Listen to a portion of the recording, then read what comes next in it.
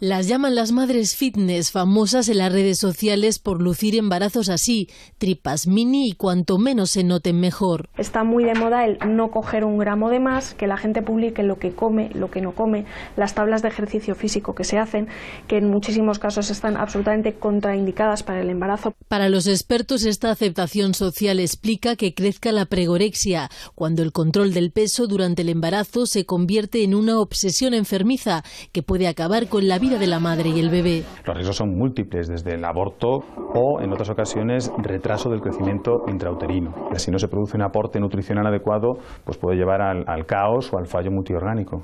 La pregorexia la suelen sufrir mujeres que tienen anorexia y que justamente en el embarazo les diagnostican este trastorno de la alimentación.